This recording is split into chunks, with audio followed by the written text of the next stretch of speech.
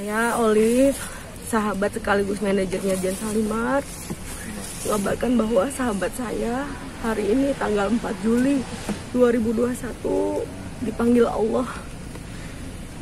Jam 4.20 dan insya Allah udah nggak sakit lagi ya. Jadi kajian itu sakit merasakan sakit dari tanggal 17 Juni kemarin. Dia telepon saya bahwa batuk-batuk aja mulai sesek nafasnya tanggal 19 dia nggak kuat lagi akhirnya dia datang ke rumah sakit. Dirawat tiga hari tapi balik karena dapat nggak dapat ruangan dapatnya di UGD gitu ya. Setelah pulang tanggal 29 dia kehabisan oksigen dan anfal. Akhirnya menunggu waiting list hampir 70 orang dia baru dapat ICU masuk ICU begitu masuk ICU udah nggak sadarkan diri dan hari ini ya dia meninggalkan kita semua gitu. minta doanya mudah-mudahan kajian husnul khotimah Amin. saya saksinya dia orang baik selama 10 tahun saya berteman dengan dia saya bahagia dan dia banyak membahagiakan orang lain. Saya doakan juga untuk yang sakit seperti kajian cepat sembuh. Mohon doanya dari kalian semua dan semuanya. Amin ya robbal alamin. Kenangan bersama almarhumah mungkin ada soal seperti apa? Yang pasti dia orangnya fighting ya. Dia nggak bisa lihat eh, orang lain susah. Dia nggak bisa lihat kalau orang lain itu banyak masalah. Walaupun dia banyak masalah dia bantu gitu ya. Yang terakhir saya ada rencana buat video klip bareng dia di salah satu ormas. Tanggal 23 Juli nanti dia bilang Liv kamu belum ada baju nanti aku beliin. Biar kembaran sama aku kata dia gitu dan di Demokrat saya satu partai sama dia. Satu satu dapil. Waktu itu nyalek 2019 dia bilang kalau saya menang kamu langsung jadi sekpri saya dia gitu. Selama saya jadi manajernya dia. Dia tidak pernah pelit. Dia banyak berbagi ilmu. Intinya dia yang terbaik buat saya. Doakan ya teman-teman ya dia tuh dia selalu jaga prokes ya setahu saya ya. Dia nggak pernah apa lalai. buka masker atau pokoknya selalu bawa hand sanitizer. Setahu saya dia jaga prokes saya nggak tahu dia kena di mana. Mungkin memang sudah takdirnya ya.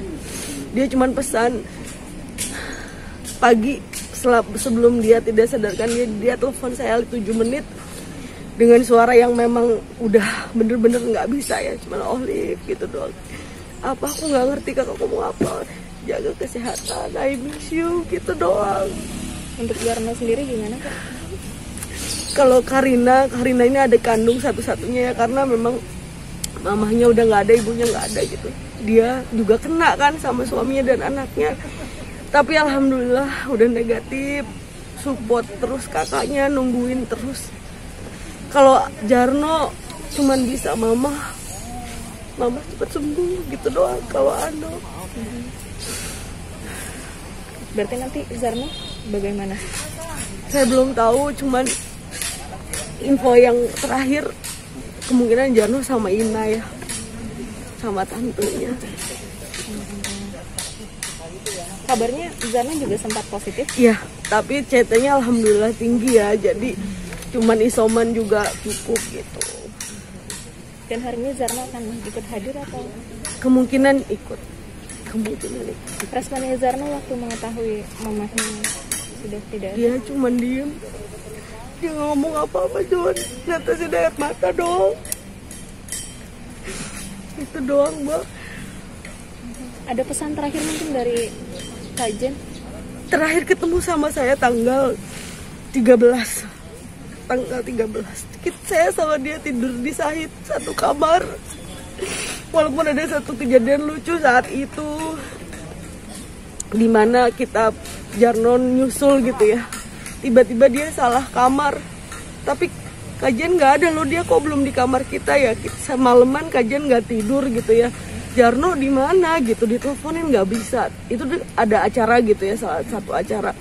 Sampai jam 12 dia nggak tiduran tuh Jarno kemarin telepon ke mana-mana nggak ada gitu. Kita mau lapor polisi belum 24 jam. Ternyata besoknya jam 8 jam 8 pagi jam 8 pagi uh, Jarno ditelepon bisa mama kok nggak balik ke kamar? Loh memang kamu di mana? Aku di nomor sekian. Ternyata dia salah kamar gitu kan salah kamar. Akhirnya dia coba kamu datang ke sini. Ya saya nggak ngerti ya gitu kenapa kuncinya bisa dikasih kan saya kasih kunci ke bawah tiba-tiba Jarno salah ngomong gitu kan nomor sekian gitu kan. Padahal semalaman mamahnya udah nggak tidur tuh akhirnya. Aduh alhamdulillah untuk nggak apa-apa gitu ya. Akhirnya udah kita baik. Nah uh, siangnya kita ke DPP Demokrat. Dari situ saya nggak bawa baju kebetulan nggak bawa baju DPP lah ya baju Demokrat saya nggak bawa. Dia ada dua di mobil. Lift kamu pakai aja dulu gitu kan. Sampai sekarang bajunya masih ada mbak. Belum aku balikin itu doang sih yang terakhir. Sebelum dia masuk ICU ada video call sama saya. Cuma bilang gini doang gini udah gitu doang. Aduh ya Allah. Terakhir Pak Olive mungkin doanya untuk almarhumah. Doanya ya Allah, ya Allah ya Tuhanku yang maha pemilik jagat raya ini. Semoga sahabatku, kakakku diterima olehmu di sisimu ya Allah di tempat yang terbaik. Amin. Saya saksinya dia orang baik. Itu aja Mbak. Ya. Terima kasih banyak Pak Terima kasih Pak. Sama-sama.